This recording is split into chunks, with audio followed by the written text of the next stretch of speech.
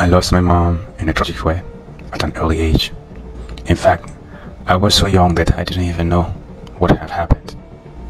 I had to be told the whole story, and through that process, there were few versions to it, and my father was the person of interest.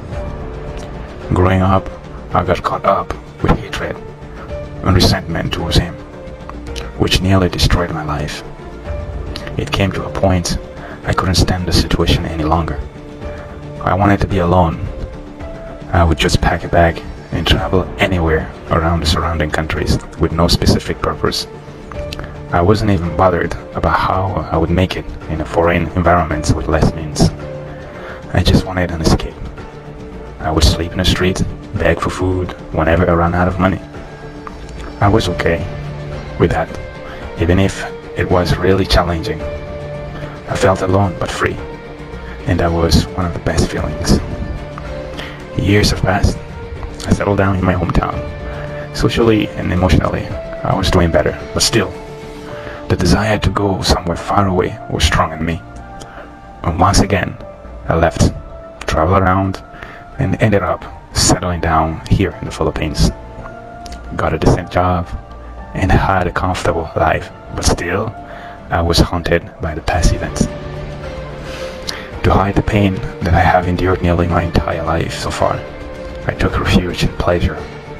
I partied and partied hard, but still felt empty and unfulfilled. I found myself back and back again in the same patterns of craving for pleasure and avoiding pain. I became mentally and emotionally exhausted. Things were becoming meaningless, and there was really nothing worth living for. I started to hate my lifestyle. I hated myself so much that I even thought dying was better. But there was one big problem. I didn't know what would happen to me when I'm dead. This made my project of possibly ending my life an impossible task. Suddenly, the fear of dying became a big concern to me and quickly scaled up into paranoia. Not knowing what death meant and what would happen to me when I die was the most terrifying experience. I would search random questions related to death and beyond. Throughout this period, I found myself reading all kinds of books and PDF until one day a link took me to a YouTube video, Sadhguru.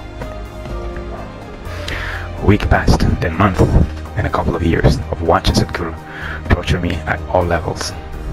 Everything I thought I knew was completely demolished by this man. The clarity sense and logic of his approach to various topics of life just kept drawing me closer and closer to him. I got humbled and humbled even more. Then, in December 2018, I decided to enroll for Inner Engineering online. I didn't know how I was about to seal my freedom and transform my life forever. At the end of the program, I realized that my experience of life was my own making. Knowing this was beyond freedom. That moment I realized I was my own problem. I also knew I was part of the solution.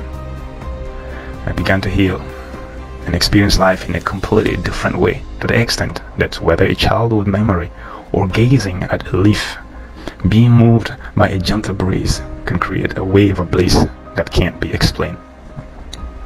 I learned to live day by day, being aware that the most obvious thing in this existence is my presence, and all other experience flow from it. My name is Dominique Sambiani. I'm from Togo, West Africa, and this is my Inner Engineering story.